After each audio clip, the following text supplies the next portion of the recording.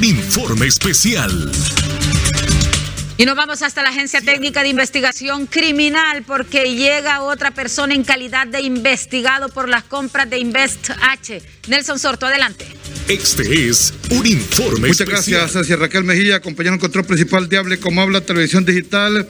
Muy temprano a esta cita ha llegado el señor César Raimundo Barrientos Palada, que funge como administrador de la Secretaría de Salud a esta cita en calidad de investigado por parte de la Fiscalía Especial para el Combate y la Corrupción Pública. Don César, ¿qué tiene que decir a esta citatoria por parte de la FESCOP y la ATIC? Muy buenos días, solamente vengo como un ciudadano responsable atendiendo el llamado de la autoridad. Ahora, eh, ¿cuándo lo llamaron usted? Ahora viene en calidad de investigado. Son cuatro personas investigadas, en este caso las 474 mil mascarillas que han comprado. Me estoy enterando de la- lo que usted dice en este momento. ¿Cuándo recibió ¿Tuvo que ver en estas compras usted o en qué trámites tuvo que ver usted? Voy a atender como- el llamado de la, secre- de la institución para poder dar respuestas. Como administrador de salud, eh, son varias las compras que se realizan en esta pandemia, en esta emergencia sanitaria. ¿En cuántas ha participado usted? Creo que ya le he dicho lo concerniente al tema. especial. ¿Qué tuvo que ver ante esta situación? Explícale Seguimos escuchando a don César Raimundo a la Agencia Barreto Técnica de Palada. Investigación Criminal. la Secretaría de Salud. Eh, abogada, eh, usted como apoderada legal del señor César Raimundo, pues eh, hoy se presentan a esta citatoria, abogada. Bien, eh, solo quiero manifestarles lo que en reiteradas ocasiones hemos manifestado, ¿verdad? Que la Secretaría de Salud en momento ha participado específicamente en este hecho de compra de mascarillas y en general en compras eh, relacionadas con COVID-19, ¿verdad? ¿Cuál es el- de él, entonces en este sentido?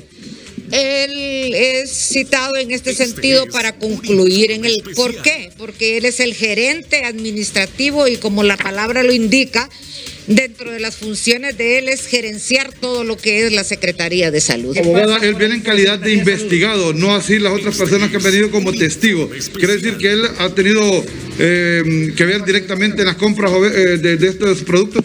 No, en ningún momento. Es más, con certeza, él no conoce al personal de Inves, mucho menos el personal de GIT y personal de Germar. Como ustedes eh, lo mirarán en el transcurso, es más, las mascarillas que compró Inves no fue a GIT. Así que yo les pido, por favor, ¿verdad? Un poco de, de no... eh, estar eh, poniendo palabras que no son en el sentido que incluso medios que consideraba yo muy responsables a las personas que anteriormente representé, pues se les decía, eh, recomendaron a la empresa GIT. Y nada, abogada. es que, le repito, la Secretaría de Salud no ha intervenido en ninguna compra referente a equipo de bioseguridad ni insumos relacionados con compras COVID. Para esto este, fue instruido Inves, está algunas compras que hizo Copeco y compras eh, de medicamentos a través del fideicomiso que se tiene con Banco de Occidente. Bien, muchas gracias. Tranquilo, don César, para, esta, para estas declaraciones. Está completamente tranquilo, eh, tiene, eh, el- está en paz, eh, viene a declarar lo que realmente sabe de todo esto. Ya le dije que eh, en todo caso generaremos algún tipo de información al finalizar. Bien, muchas gracias. Don César Raimundo Barrientos Palada, administrador de la Secretaría de Salud. Hoy se presenta ante la Fiscalía Especial para la Transparencia y Combate a la Corrupción Pública y agentes de la Agencia Técnica de Investigación Criminal en estas líneas que llevan por la compra de eh, por la compra, perdón, de 474 mil mascarillas eh, entre Inves Honduras y el grupo GIT. Nuestro contacto completamente en directo junto a José Ceguera. Retorno con ustedes. Buenos días.